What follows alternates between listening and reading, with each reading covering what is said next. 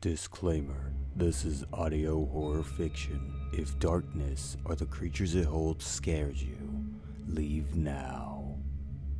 Still listening? Good. Then let's begin.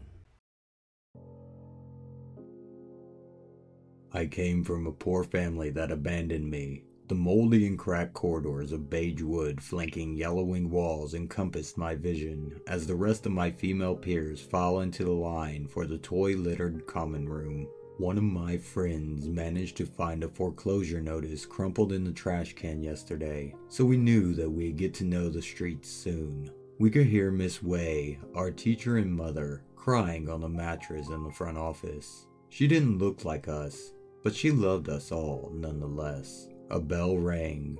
We saw Miss Way walking quickly to the door, talking in American language for a while, then coming to the common room. Miss Way entered, fakely smiling and crying at the same time. She spoke through staggered whimpers. A rich businessman is here to adopt you all. We all looked at each other, some putting down lettered blocks and some putting down weathered books. I translated her words for the younglings, and they all nodded happily. The old and musty room suddenly felt much warmer, and we all collected our personal items. Bow Bow, I'm sorry, Miss Way said over and over again, her age and sadness curling her words into pain and guilt, kissing and hugging us on the way out of the door into the smog. When we all reached the road, we could no longer see the orphanage. A suited, glasses wearing man stood in front of a large bus, gesturing us to enter. Being the only one able to read American, I was the only one able to cry. Fun Toys Production Factory Transport Bus. The younger ones looked at me with shining, hopeful smiles. I smiled back.